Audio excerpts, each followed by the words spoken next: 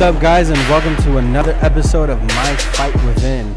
Um, last episode, we talked a little bit about uh, my my fight with Neil Cook and the injury, and, and, and that kind of set me back. But during that time, I was able to um, watch a lot more tape. I was maturing in my career as a fighter, and so I was able to uh, to kind of dive deeper into into the psyche and and and more of being a student of the game rather than always trying to do do do.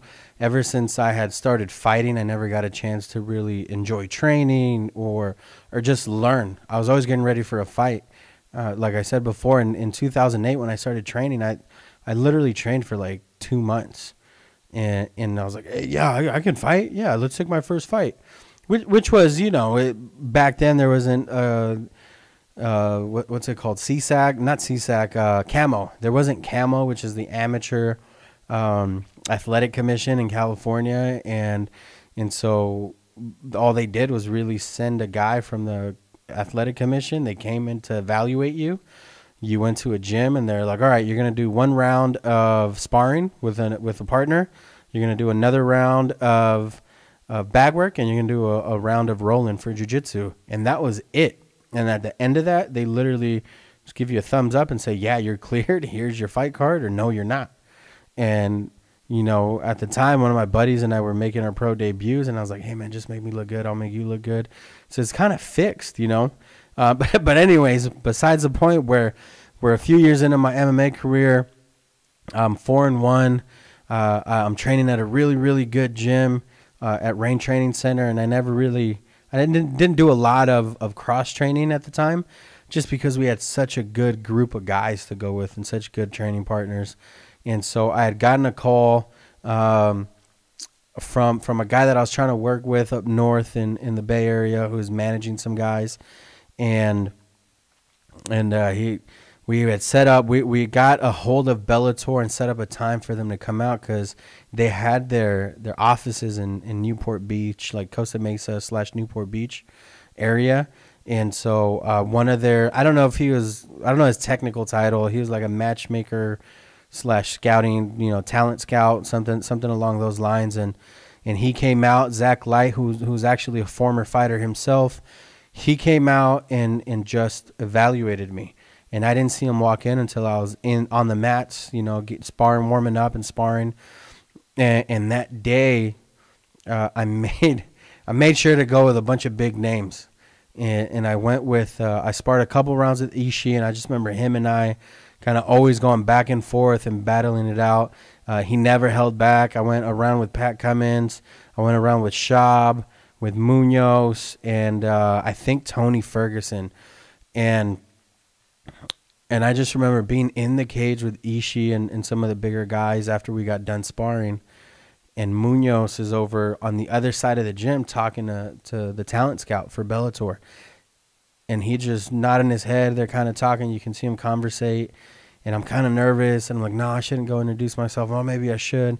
So you know what? I'm going to go introduce myself. So I, I literally circle around the, the cage to grab my, my gloves and, and my uh, you know some tape and, and whatever I, I had at the time and and I go I'm starting to make my way towards the towards the front of the gym and he's gone.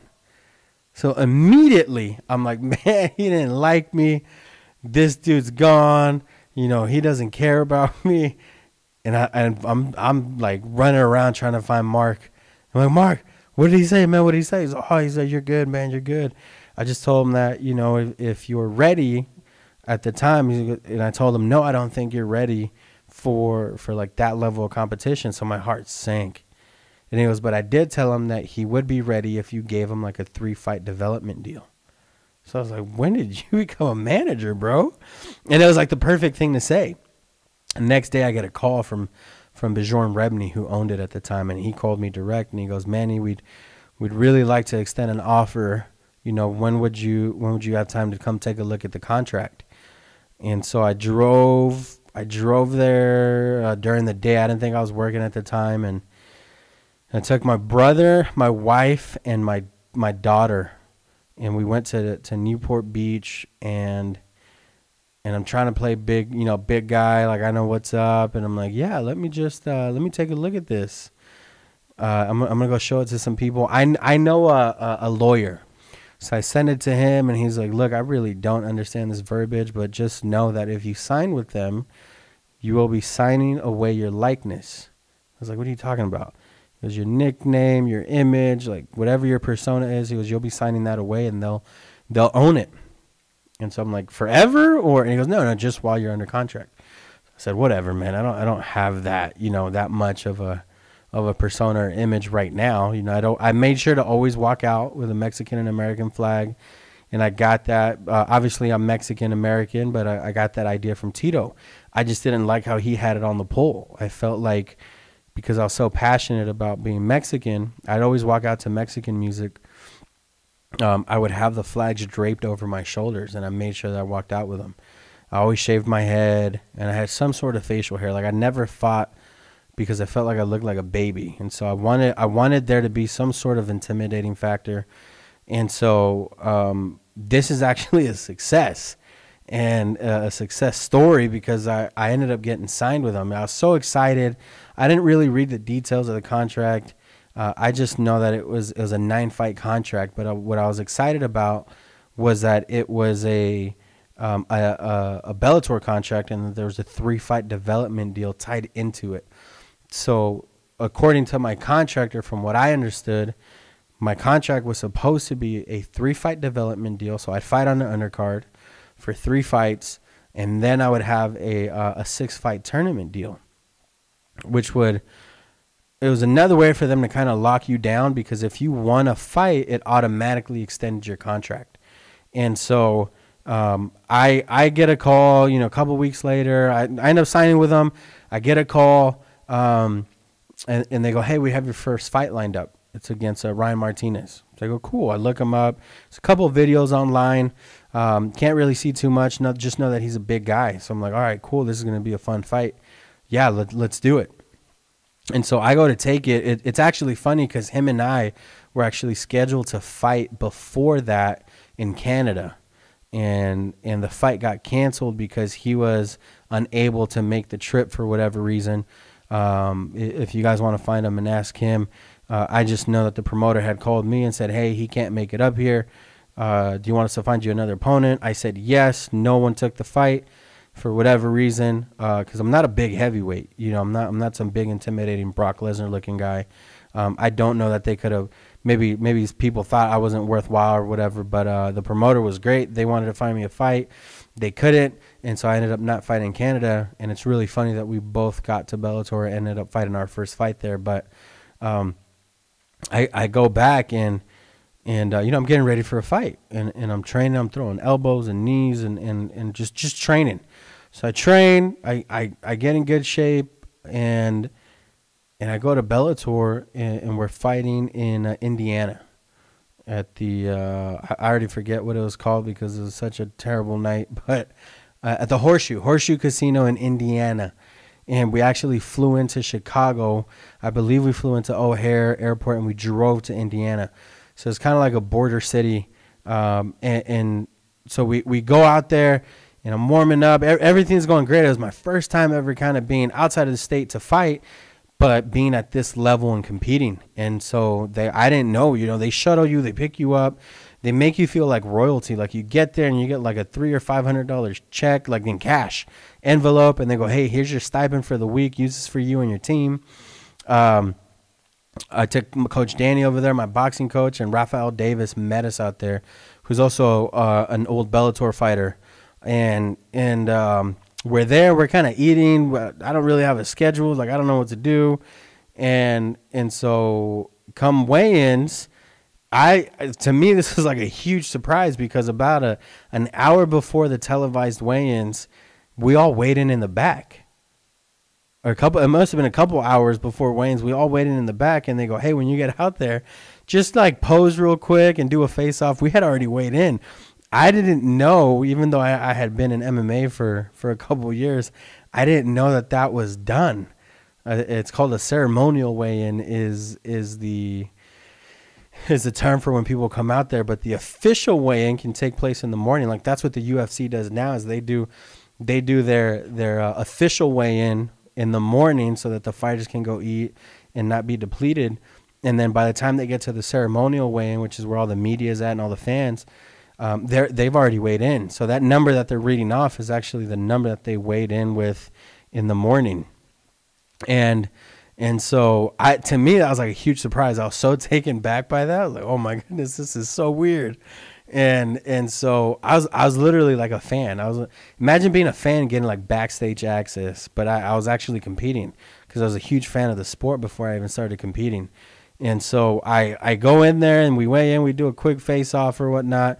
The day of the fight, now I remember being kind of nervous, but um, there's a Cracker and Barrel restaurant like right next to the hotel, and so we went there every day and used our stipend. I fight at heavyweight, so I never had to cut weight, and and we go to get our excuse me, we go to our uh, our meeting. We have a there's like an officials meeting and like rules meeting and stuff. So we go to the meeting and they go, "Hey, everyone competing in the tournament, remember that you're not allowed to throw elbows." And I think knees too or something like that. And I was like, "Whoa." Like I'm sure I've literally been practicing elbows this whole camp. And and I go, I think it was Big John. I go, I go, hey man, why aren't we allowed to throw elbows? He goes, oh, you're a part of the tournament. And I go, no, I'm not. And he goes, yeah, you're an alternate. So even though I was an alternate, I was technically a part of it.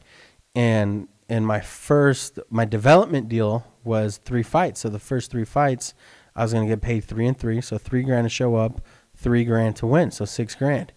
Uh, my second fight was four and four, and I think five and five or six and six for my third fight. Then my first tournament fight was supposed to be ten and ten. So ten thousand a show, ten thousand a win, and then it grew to like twenty and fifty and and all these crazy numbers. Right, the deeper you got into the tournament, the more money you made. I think it ended up totaling like a hundred grand or a million dollars or something like that. I don't I don't quite remember, but um, I just remember being really confused by by the rules. Like, no, man, like I've been practicing this. Like, what are you talking about?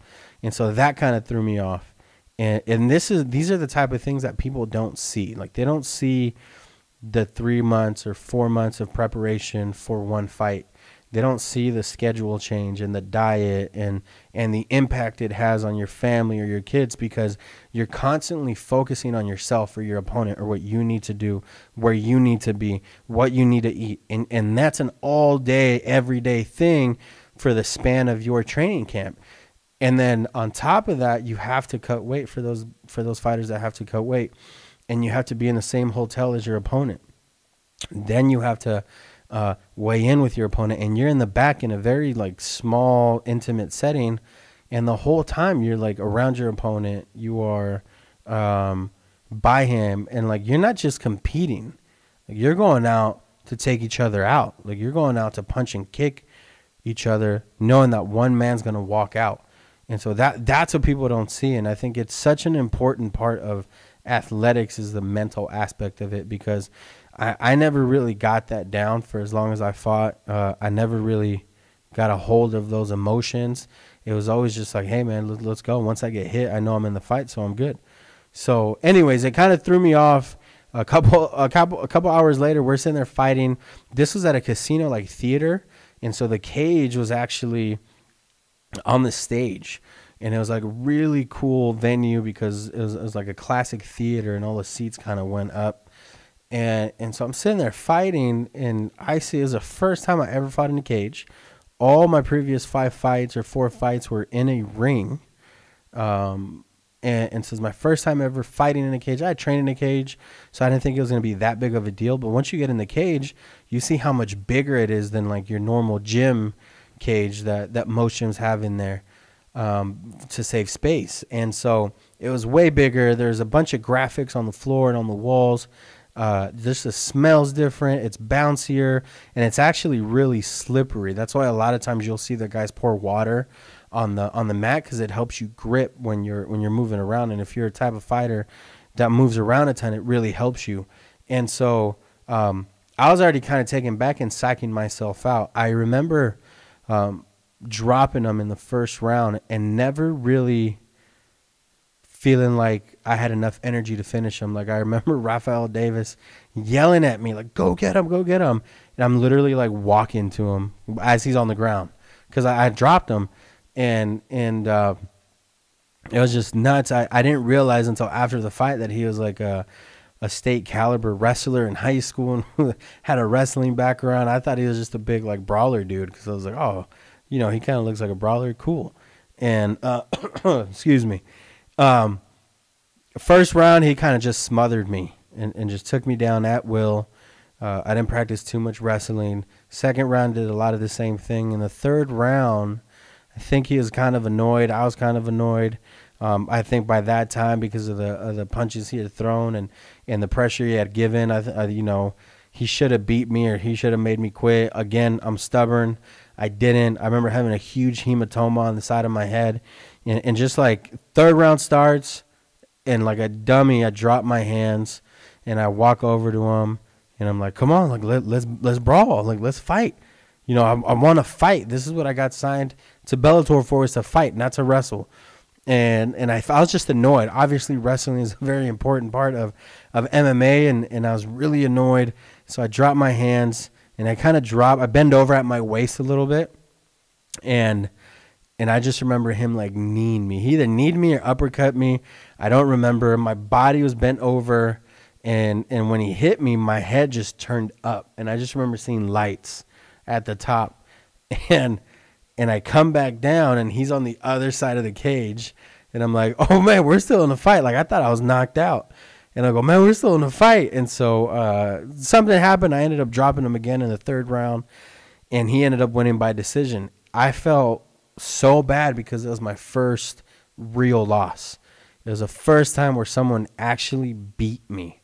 Where I was like, yeah, that guy beat you fair and square. It wasn't an injury. There's no drama, you know, or controversy. This guy out wrestled you. He out grappled you. He was just a better MMA fighter that night.